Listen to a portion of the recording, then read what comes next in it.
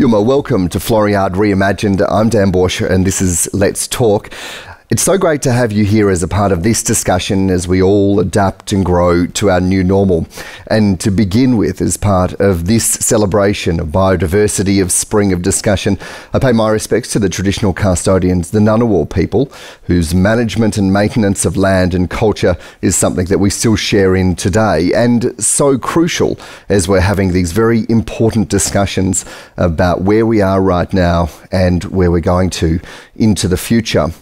In these unusual times, as we still grapple with the consequences of COVID 19, uh, we're taking very special precautions here at Floriade, making sure that everyone is physically distanced but socially together, that hand sanitizer is widely available, and that uh, groups are much smaller, so it's a much more intimate experience. And for wherever you're watching this, I'm hoping uh, that you're feeling that as well. Today, we've got a really fascinating conversation.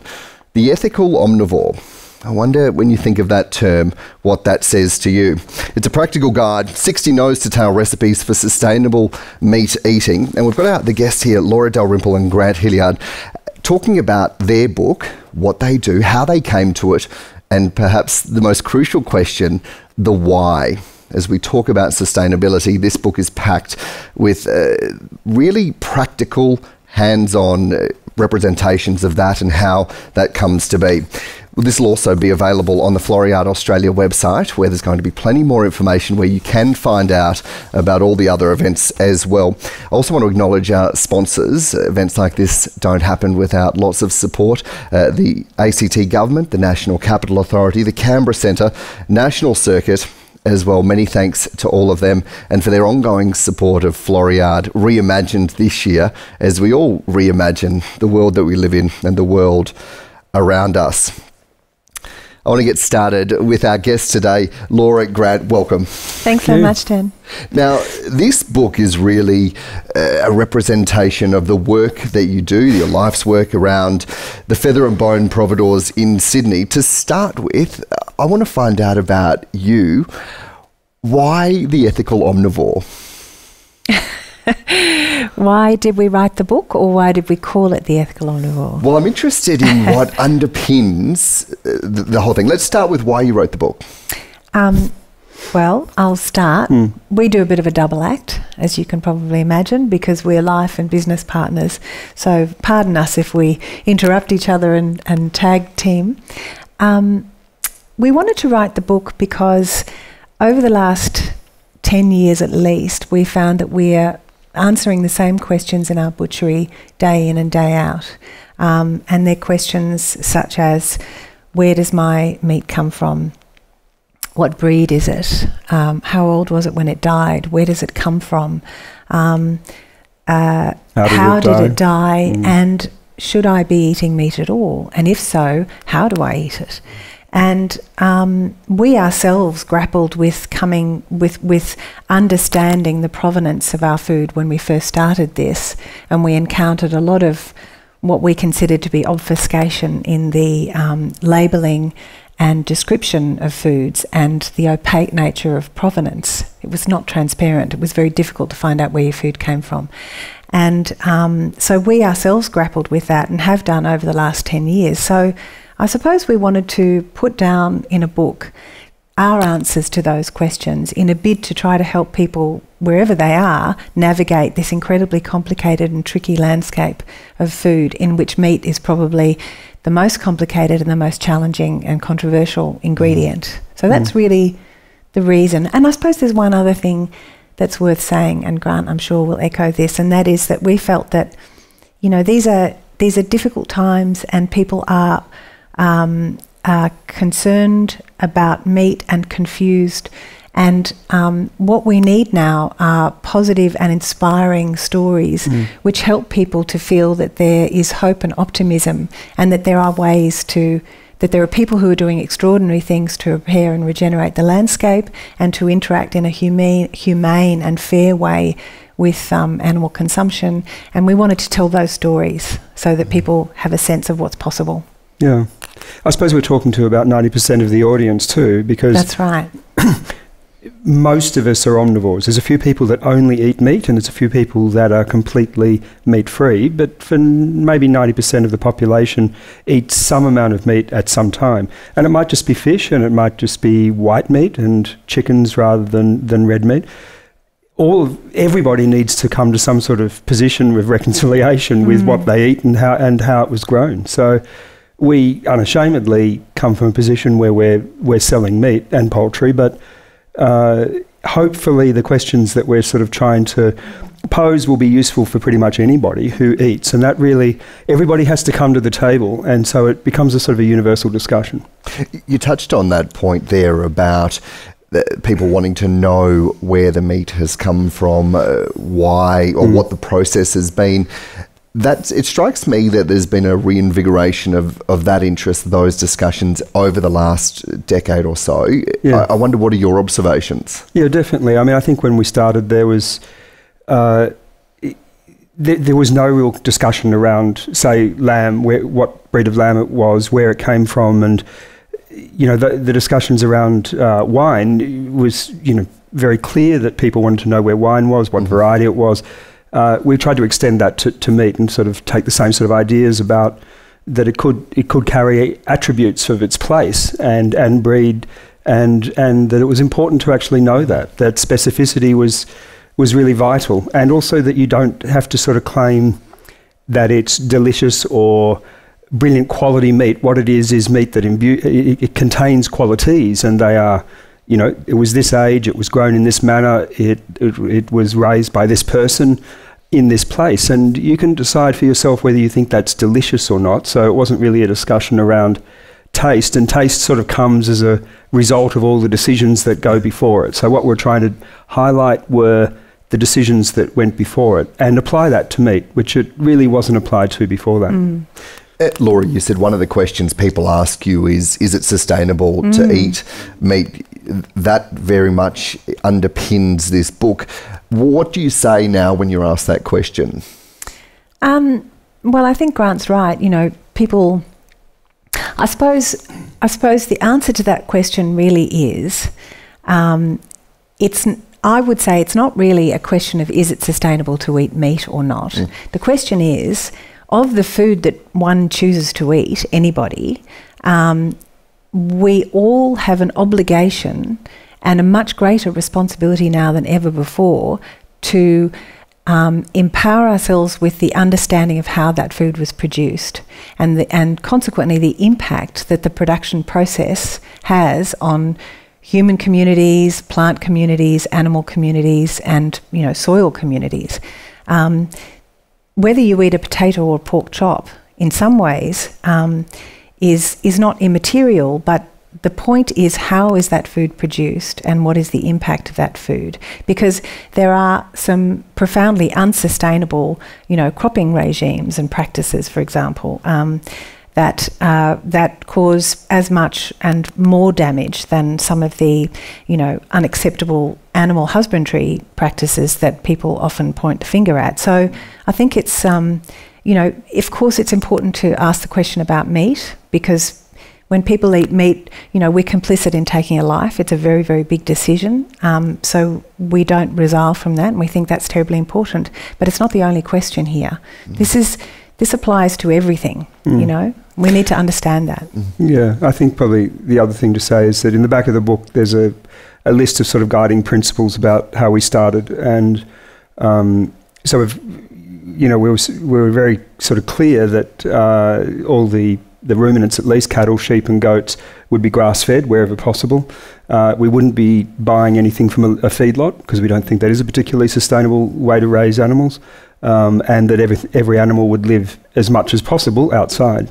And, uh, and we'd buy the whole animal, which is a really distinct difference yes, between what we do and, and what a lot of butchers do. So once you agree to that, it means that you can buy directly from the farmer and it, mm. we, we can bypass the wholesalers to a large extent. Mm. We still have to go through uh, the abattoir system, but that's not not all the time because now increasingly some of our producers have small on-farm abattoirs, so they handle that side of it themselves. So, in a way, it is a much more direct relationship, and by main, by establishing that direct relationship and only buying from the producer, you bring the you bring the consumer closer to the producer as well. And uh, there's a line from Jonathan Safran Foer, and some of you might know that American writer who, who wrote a book called Eating Animals, and he wanted to talk. He talked about opening up the line of sight, and we're very, you know, we agree with that completely. Opening up the line of sight from where you you stand as a consumer to the person who produced that food. And back again. Is, is it, that's a, about transparency and, It about, is and about. Yeah. having that oversight. Yeah.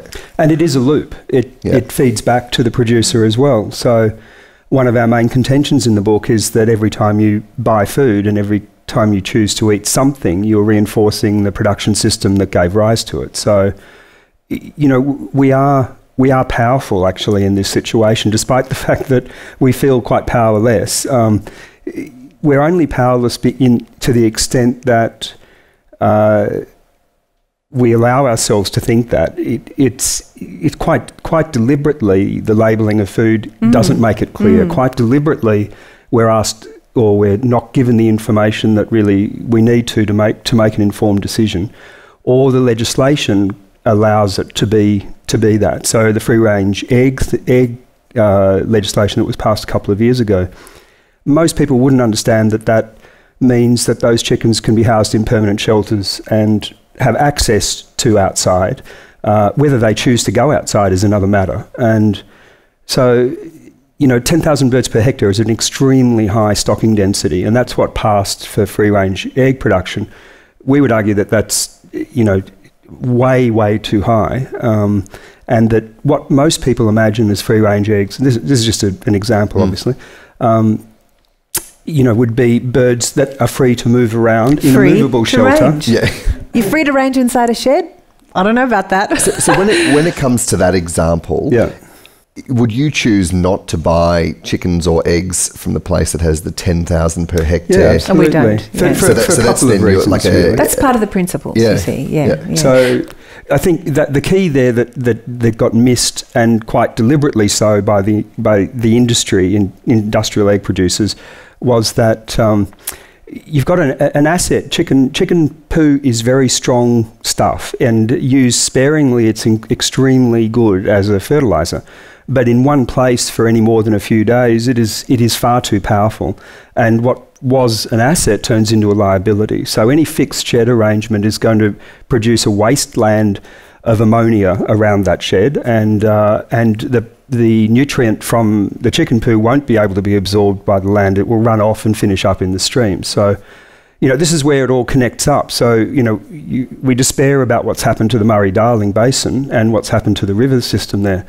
The excess nutrient in that is largely agriculturally derived, and it's because of you know poor use of fertilizer and poor poor land management practice that produces that amount of nutrient in the water.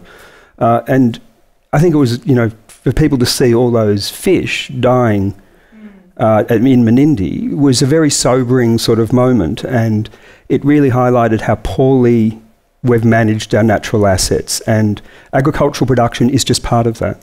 And so people are coming to realise, I think, through the drought last year, or the culmination of the drought's effects last year, and then the fires, that And these pandemic. things are connected. The way we produce our food, the environmental costs of producing our food, our water management, how much carbon we store, fertility generally, are all connected, and then it all finishes up with human health. So, I mean, we've come a long way from just the egg, but it starts with an egg, and what comes So first? just the chicken or the egg then? exactly right. And uh, we would say that it's they're intertwined, and you can't Yeah. pull them apart. You actually have to look at them as a whole, and that's sort of a failure of that's a failure of the way we understand food production. I think there's another, um, yes, and to support that, I think, um, you know, if people read the book, they will see, as I said before in the book, that there are um, quite a few stories of um, profiles of the farmers we deal with.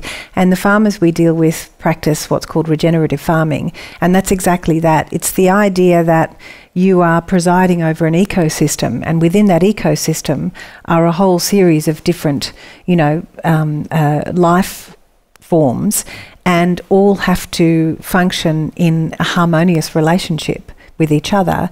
And that's what creates the kind of vitality and resilience and capacity that produces, in the end, a great lamb product, for example, or a great chicken, or a great, you know, a great, you know, cow. Um, and unless you understand your landscape as a series of interrelationships between all these different levels of life, and and and try to allow it to man- it to be managed that way, Charlie, uh, Charlie Massy says, you know, you get out of the way of nature, and nature's superior capacity to self-organise determines that balance. Um, you know, so the farmers we work with really don't necessarily think that they are sheep farmers. They see themselves as, you know, soil farmers or, you know, ecosystem farmers, if you like. And that's that approach, that mm. idea that we need to be holistic in the way we solve problems. Because if we think of ourselves as, you know, um, sheep farmers and um, and we think of energy and water and soil and all of these issues, human health as separate, sort of isolated, siloed um, issues that we need to resolve, we won't we won't solve the problems that we face. And what struck me in the book is the sense of community mm. uh, amongst uh, the farmers, be they the mm. eco farmers or mm. or otherwise that you mentioned. Uh, how much of that un- has underpinned, uh, I guess, the work that you do, the, the way that you've told the stories, the the principles of, of how you go about doing it. Mm. It's sort of a late realization, I think. I think the book for us, writing the book forced us to recognize a truth that we hadn't quite understood and until then, which was that in encouraging and working with farmers who develop their own communities, microbial communities uh, and plant communities, we also have a community of the people that buy from us and mm.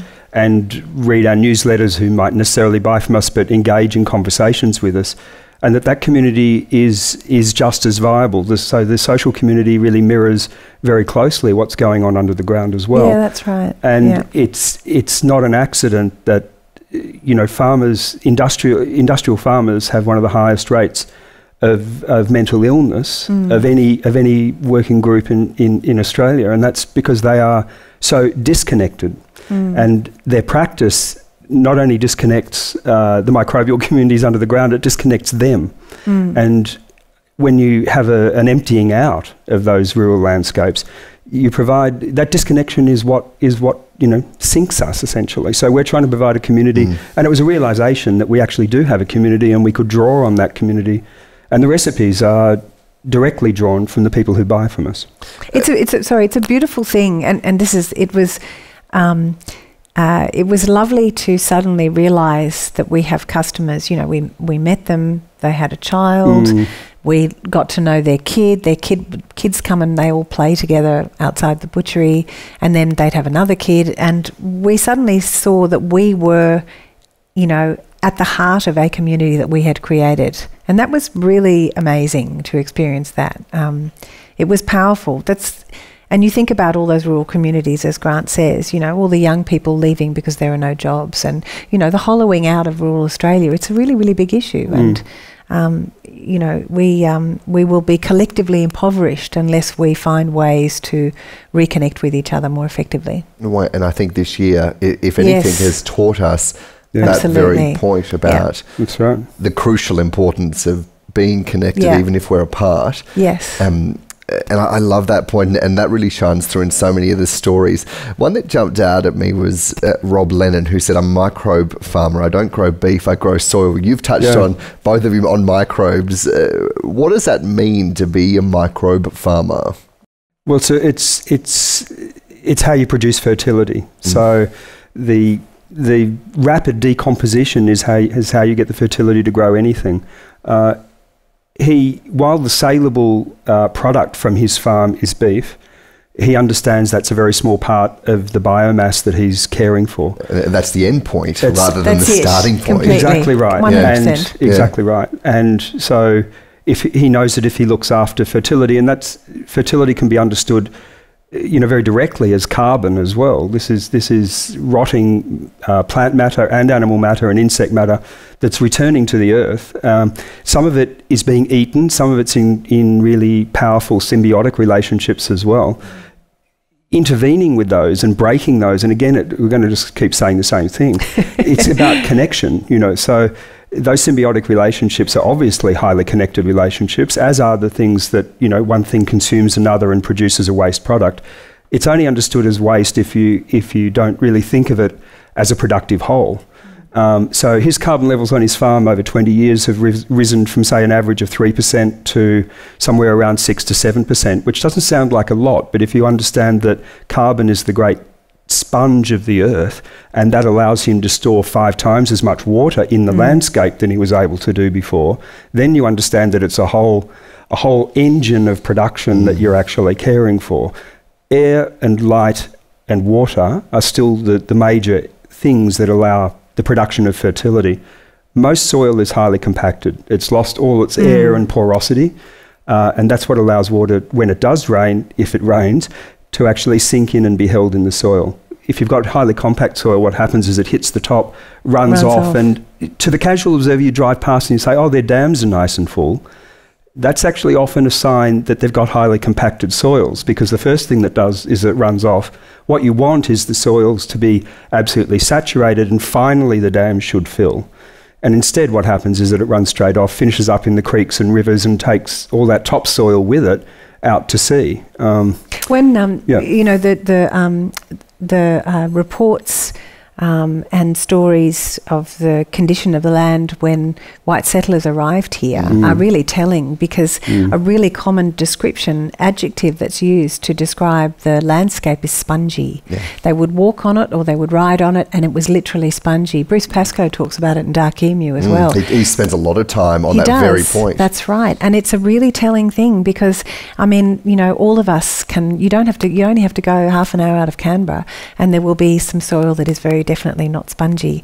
And um, and it's literally it's such a great metaphor because it it's it illustrates graphically that idea of retaining and collecting and harboring. Mm. And water's life. You know, if you don't have li- if you don't have water, then you don't have plants. If you don't have plants, you don't have you know microbial life. So it's uh, you know these are not complex principles. Um, they are just ones that we we were talking before um, before we, we came to sit here about the interventionist um, culture that's built up around food production. This idea that there is a technical solution for every problem. You just, you know, you just um, implement a solution onto the issue, and then mm. it fixes itself. And in fact, I think we don't want to um, uh, decry the opportunity to use technology to further, um, you know, production and improve our, our ability to be more efficient and so on. But mm. it's not the solution. You know, it's just a tool. Mm. Um, so uh, this mm. extractionist sort of idea.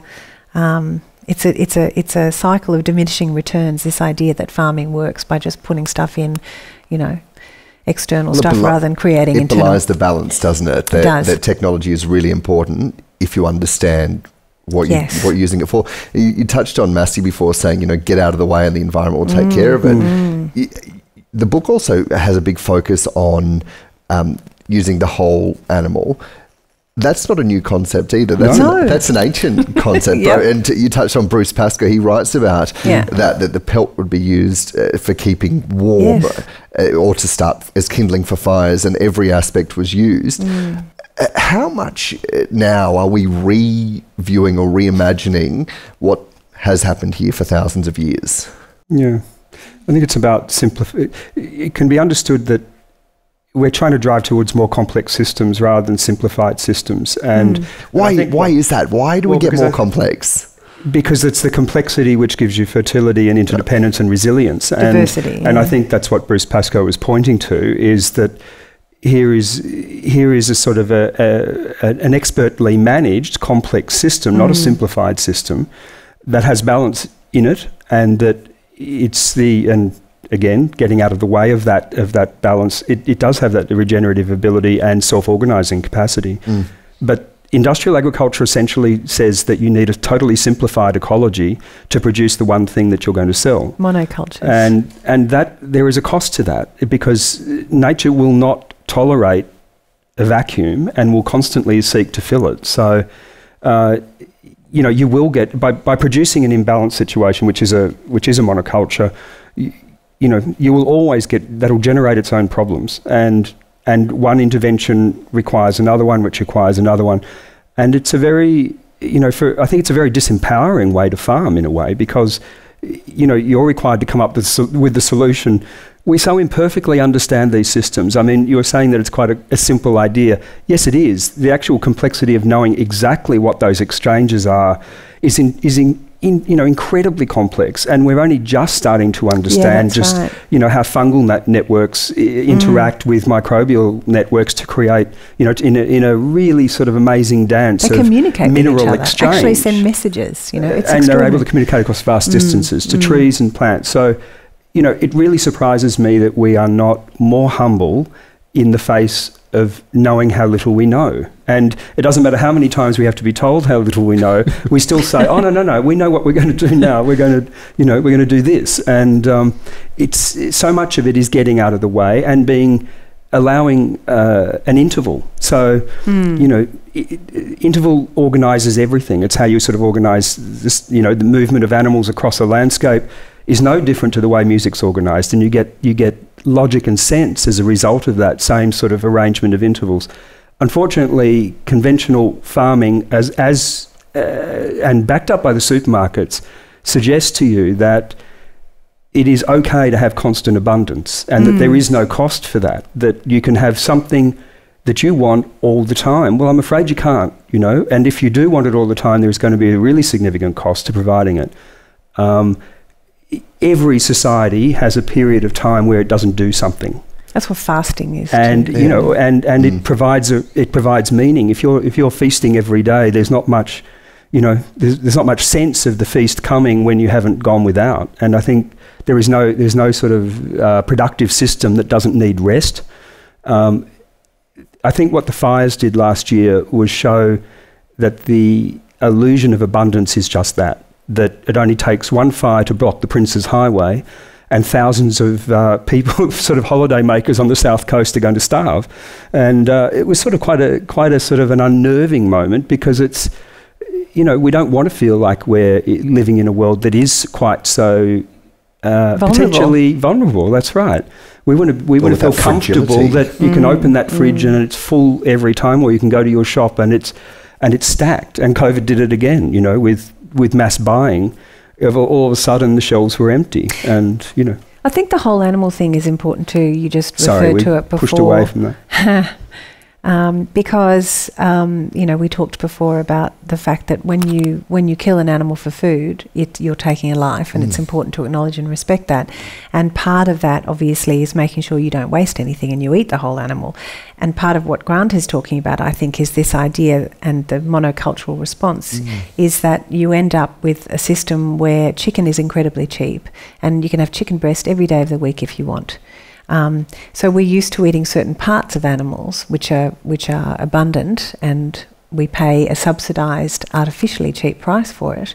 Um, it's of compromised nutritional quality, um, and we've lost the capacity to cook the whole animal. We've lost the capacity to understand how to how to how to actually consume the whole mm. animal, um, and how to only have certain parts of the animal at certain times because they only comprise a tiny percentage of the animal. And if you're eating the whole animal, well, you can only eat it once, you know, because that's all there is, you know.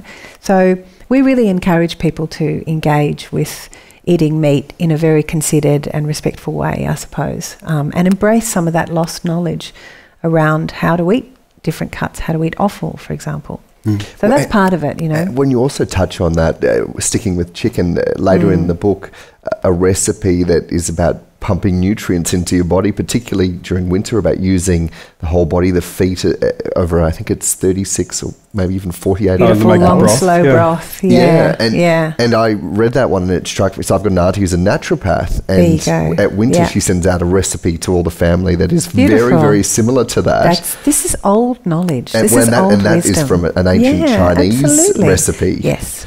Uh, so, how much of your job and uh, the, of your butchery, the providore, is about having those conversations and perhaps even a, a re-education. A lot, almost all of it. Yeah. Actually, that's it. I mean, well, I suppose there's. I well, mean, it goes back to why we wrote the book. It's like it's that's the same. it. Yeah. So, um, and in our practice, I suppose there's two parts of it. One is, and we do talk about this in the book as well. Mm. One is the, um, I suppose, the respect for the skill and craft of butchery because um, increasingly, this is a, a, one way of answering your question. There's sort of two aspects. One is educating ourselves and our customers um, about how to eat the whole animal. Um, and that these are conversations we have all day, every day in our butchery. Um, and we send out a newsletter and we talk about that endlessly as well. But there's also this idea of celebrating the craft of butchery because increasingly, um, and Grant can speak to this more closely than I can, but increasingly, um, what happens is that butchers will receive boxes of sections of an animal and they're indeterminate because they're buying from a wholesaler and animals from all sorts of different farms will go into a into a job lot and then they get purchased and they get broken down by the abattoir and then they're put in boxes and they're sent out to butchers who buy mm. them from wholesalers. So the butcher doesn't necessarily know where the animal comes from, doesn't have a connection with the farmer, and um, and the butcher's knowledge is being compromised and whittled away because they're never cutting a whole animal and they're never experiencing the whole the, the exercise of breaking down a whole animal and seeing it mm. as a direct sort of relationship and expression of the farm from which it came. And so in our butchery, we are whole body butchers. So our butchers are highly skilled craftspeople, you know, and what they do is quite beautiful and quite wonderful. And we believe it should be celebrated because we're losing that skill. Across the world, across the Western world, we're losing these skills. They're important skills to keep, and we should respect the people who do this work for us. You describe it in the book as a dying art. Yeah, it's a bad pun, sorry. but well, um, it's done at yeah. an abattoir level now, so yeah, it's that's it. Animals mm. are, are boned in the abattoir and often hot boned, which means they're not even cold before they bone them, and then and then straight into plastic and then straight into a box.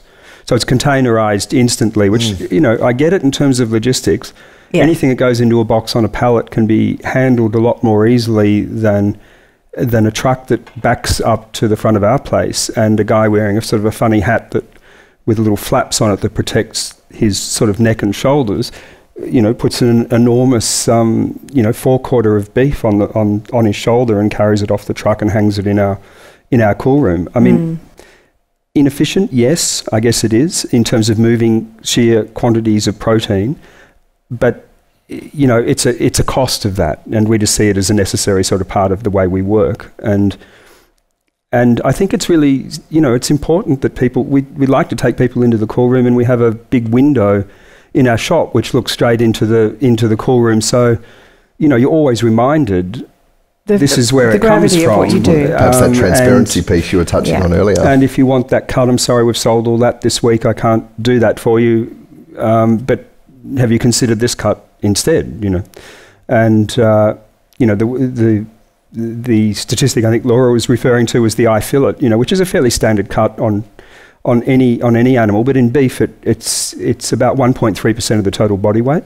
So if you see a 300 kilo carcass there, we're getting about four kilos of eye fillet from that carcass, 300 kilos that's about how often you should eat it. But I think most people would, would feel that they could eat it more often than that. And if you do want to eat it more often than that, then you're entering into a commodity market where weight is the only thing that's really given value. So yeah, that, the whole question of value is another another. Mm. I mean, that's another big topic. Obviously, you may you may have other questions, but yeah, yeah the question so of value. Let's go. Well, no, that allows well, let's, talk, let's, talk, about the value conflict yeah. because in the book you touch on the faster, bigger, cheaper, the mm. I guess the the mass production piece. So where does value fit in that matrix, or does it at all? Well, that's the problem. It would say to you that the commodity market says that you know the market looks after value, but in fact it's actually a really highly distorted market because mm. if you know take beef for an example, we buy uh, pretty much exclusively two to four year old cattle. Now that's much older than than is sold in in you know by most butchers. Most butchers are selling essentially yearling cattle that might be somewhere between 15 months and say 20 months old. Uh, there's no doubt that if they go through another winter that their flavour is much deeper, their their meat is much better in terms of pure quality. But the but they will get less money for that animal if they went to the market and sold it because it's too big. Nobody really wants to deal with it. What they want is a 180 to 200 kilogram carcass that fits on the rail that can be broken down really simply. So all of these things are to do not to do with the quality of the animal, the, the life of the animal, the life of the soil. They're to do with does it work in our production room. Mm it's sort of like the apple varieties. What yeah. what stores well, that's the apple we're going to grow, not flavour, not sort of any other qualities that it might have. those qualities are actually really vital, and, and it's that diversity, and we haven't touched on that really yet. We're trying to create How long have we diversity. If only the book wasn't so big. so much to talk about. Well, we've talked about it in sort of broad terms. Yeah. We haven't specified Yeah. that it's actually the diversity that we're really, really interested in. Seeing as many different plants in that field uh, as possible. So, you know, grass fed isn't just kikuyu, it's a, a huge range of different plants which the animals will select from, you know, given the chance, and, and medicate themselves from. So, one of the common uh, things that, that sort of often goes unremarked and we have to sort of remind ourselves is that the farmers that we work with virtually have no veterinary bills. And if you look at a, a, a, like a large dairy, a vet ma- basically lives on site. Um, those animals are point, pushed to the point of high levels of production that they're, they're not particularly healthy. And if you're going to ingest something, just as that animal ingested a range of grasses and made meat out of it, you're, it's about to make you're, you're about to make meat out of it in your body as well, and you want to make sure that that's the highest quality protein and, and the best quality you know animal that you could possibly eat. And rather than eating something that's highly compromised, um, and this is where health issues start to come in because you know we have an imbalanced diet and we're eating animals and plants that have reduced nutritional density. And that's a direct result of the soil's impoverishment. Increasingly, so for example, if you imagine, you know, we know now because because science has told us over the last few years how important gut health is and the gut, you know, biome is. Um, if you imagine that when we are less healthy, when we have a compromised um, and um, and simplified gut microbiome, um, the same goes for animals. Yeah. And if if you have a sort of a um, a sequence, a cascade of narrowing all the way through from the breeds, the varieties of animals, and their diets are simplified and narrowed as well, and their gut mi- microbiome is compromised by that. You know, it's like the whole thing is narrowing down all the way through. We ingest that, and that has an impact on us. And what we now understand is that is that when we eat animals that have come out of systems where there's a lot of complexity and a lot of diversity and they have healthy gut uh, microbiomes, we absorb that and that increases um, and improves ours as well, which has a profound influence on our entire physical well-being. So, you know, it's no, it comes back to the interconnectedness again. Yeah. It's no, it's no, it's no mystery really why these things have an impact on each other. Um, and but the value thing is really important, and we acknowledge that that's an issue. You know. Mm. Uh, look, there, there is plenty of other areas that I could delve into, but, but I am conscious that Of we're not going to have any time for questions. Yeah. Uh, and I wondered if there, were, if there was someone that wanted to ask a first question to kick us off. Just remember to stand up and wait for the microphone, or just get you at the front here. And just make sure you mention your name at the start as well. Hi, I'm I'm Liz. Um, thank you so much for such a stimulating and interesting conversation. I'm wondering if you could um, give us some thoughts on the ethics of cow's milk production. And I also want to ask, where can I find my local? How can I find my local ethical butchery? okay. Well, yeah, milk is milk production is is very fraught. Um, we have one buffalo producer that we work with specifically who uh, keeps her calves on on the cows for until they're ready to be weaned at about eight to ten months, and that's usually generated by the cow rather than the calf. Um, so they share the milk. Um, they separate them uh, at night, do a morning milking, and then put the calves back together again uh, with the mothers. So, of course, that's not how most milk production goes. Um, they're separated at three days. Just they get colostrum and then they're taken off. And those, those especially those boy cows, um, That's a waste product. yeah, they're viewed As as, a waste know. product. That's right. Um, and there used to be a market for that, uh, but now they can't even.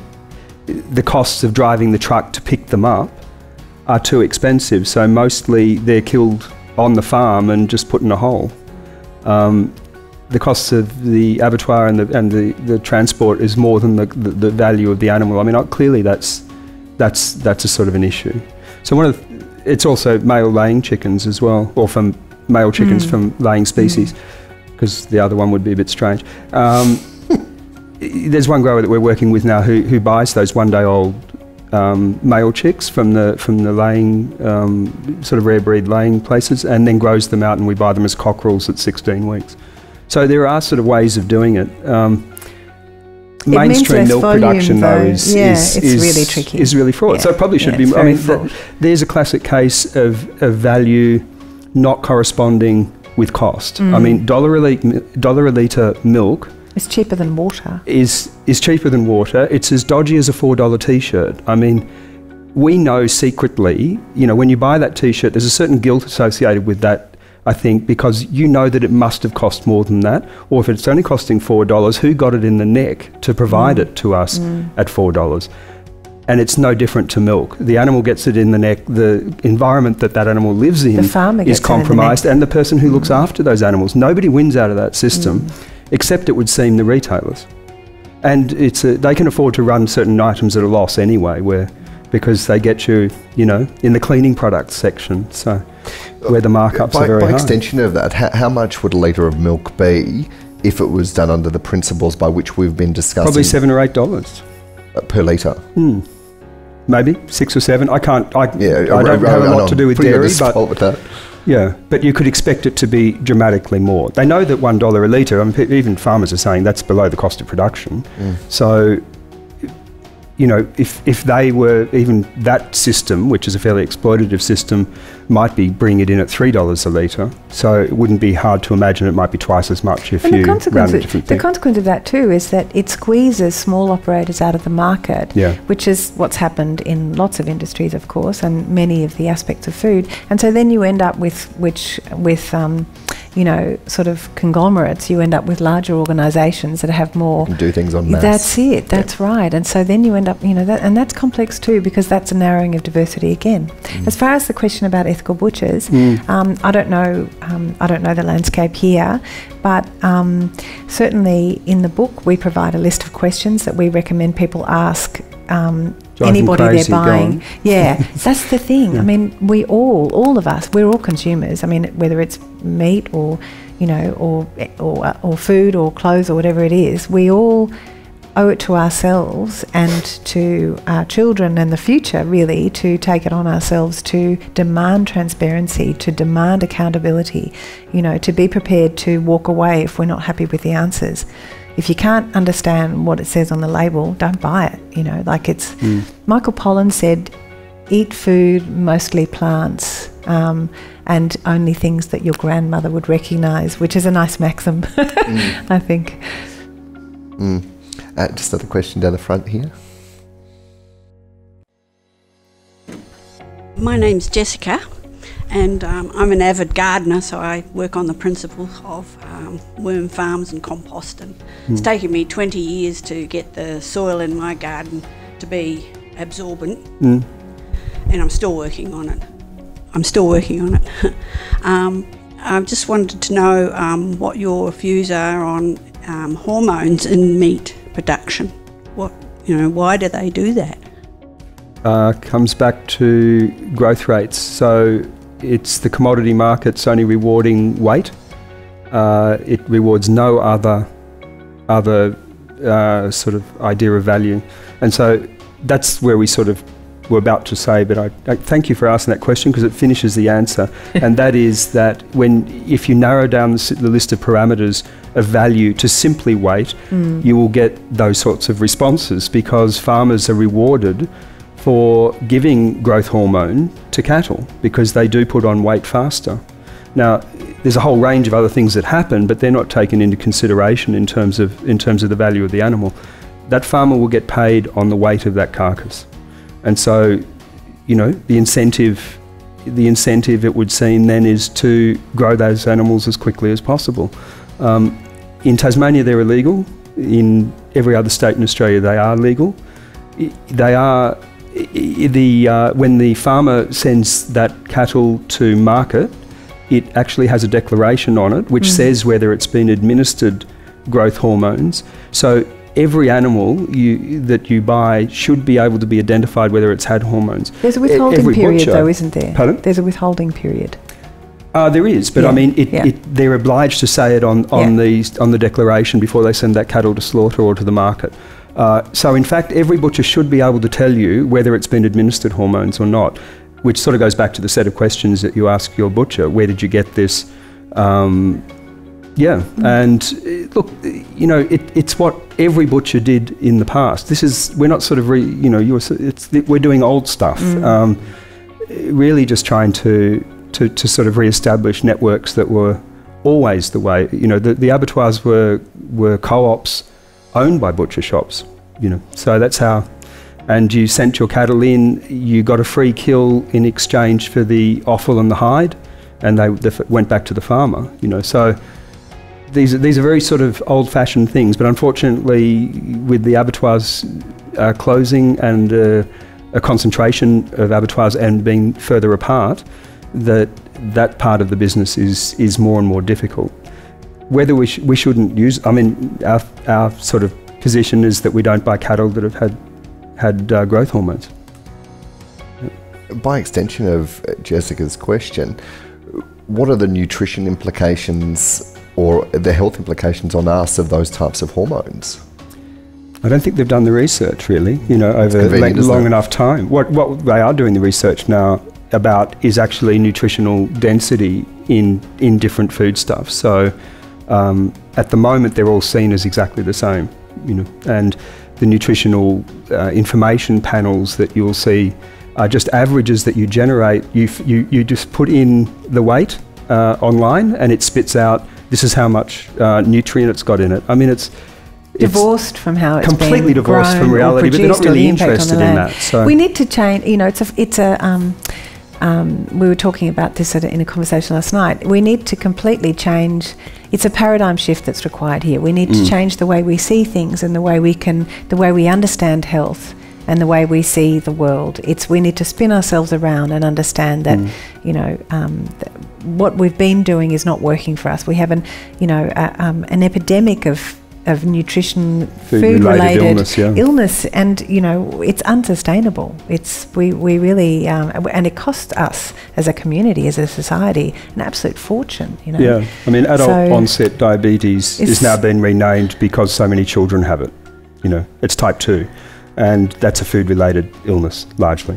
So it tells you something, you know, and um, It's all doom and gloom, isn't it? Look, there are some great stories as well. I swear, there are some people like doing some say- incredible things. yes, and, and, and But I guess that's what we're talking about. Isn't it? We're talking about the other side of Yeah. of that of, of you know highlighting what the danger, the risk is, Yeah. and the, and this is the alternative, and which is why I love that list of questions you can ask because it actually empowers each of us and, and you've you keep touching on this thing that we even though we're an individual we still are part of a market economy and we can decisions Every dollar, matter yeah. Like we, you know, the reason that Coles doesn't serve, um, doesn't sell sow stall pork anymore isn't because they give a toss about sow stalls, you know, and, and pigs' welfare. It's because consumers voted with their pockets. This we can change this, and it's not happening at a regulatory level. It's not happening at a legislative le- level. We have to do this, yeah, and we, we can, you know. So that drive has produced change. There's no doubt about it. The, the the definition around eggs, as we were talking about, sow stall free, which is still a bit.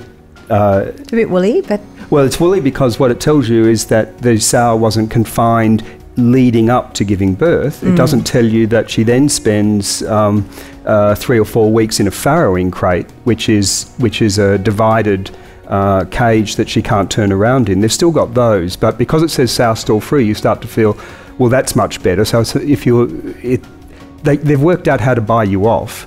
Your legitimate concerns um, are assuaged very easily if you think that that's sow stall free. They're not going to show you a picture of a, of a, of a, a, a nursing uh, female pig lying down where the piglets can only uh, access access her teats and nothing else, and she can't turn around. And that to us is an inhuman and inhumane way to treat a, an animal, any animal, but one especially as, as intelligent as a pig. They will say to you that they'll, that she'll, scra- she'll squash some of her young if we don't do that. And yes, there are occasionally uh, deaths of young ones. They do have up to 14 piglets in a, in, a, in a litter, which is part of the reason they have so many. Um, but generally, if they have room, they squash very few. And um, you know, it, it's also what's the cost of that? If the cost is that a, that a, a female pig is restrained for for three weeks at a time, that would seem excessive to us. We've we've had um, conversations, for example, with the NRMA um, over the years because RSPCA? the NRMA. Sorry. But the car to Those get to the really RSPCA. organisations, I tell you what. Oh, you really are expanding the RSPCA, yeah, we're so weird. This is about diversity. That's what I said, right? um, the RSPCA, because as you know, the RSPCA endorse, um, you know, certain um, uh, Standards. Uh, standards. That's right. There's the RSPCA standard. Is- from our perspective, that standard is way too low. The RSPCA argues that what you're trying to do is lift things up from the bottom, and you have to encourage the big operators. If you set the bar too high, they won't improve, and they won't be encouraged to improve Small their standards. changes, and yeah. you know, it's a really interesting debate, and I'm not sure. You know, we, we sit at one end of the debate. You need you need a whole lot of people around the table having these conversations. You need to bring everybody together to have the conversation. But um, you know, the point is, and this is what we also try and say in the book. I think it's important to make this point that. Um, we have strong opinions and we, we occupy a really particular place and we don't resile from that. But you know, we're unapologetic about it, but we're also non judgmental because every single step in the right direction that anybody makes at any point, whether it's, you know, a large corporation or an individual, mm. should be celebrated and encouraged. And, you know, because that's how we move forward. It's that's the critical thing. So it's very easy to I don't know. I find myself sometimes lying in bed thinking I can't even put my foot over the edge of the bed because you know I'm going to put on a thong that was made by out of some incredibly compromised system, and the floor was polished with some toxic chemical, and you know it's like it's all too much. But actually, She doesn't sleep well. So it's, like but, but the it's a lot of weight. It's a lot of weight. We, we all carry a lot of weight. We're all worried and concerned about these things. But you know, um, you know, encourage yourself, congratulate yourself when you do make one step in the Mm. right direction. That's how we make change. Yeah, and I think that that's a, a perfect place uh, for us to round out this conversation that could have gone on and on. Uh, thank you both so much That's for, for joining us today, Thank ladies you. and gentlemen. Thanks so Please much, give it up. Dan. Laura Thank Dalrymple you. and Grant Hilliard. Thank you. Thank you. I'm Dan Bourchier, and this is Let's Talk. Thanks very much for your company as part of Floriade Reimagine 2020. Check out Floriade Australia online for plenty more details about how you can get involved in these conversations and more. Yara, thanks for your time.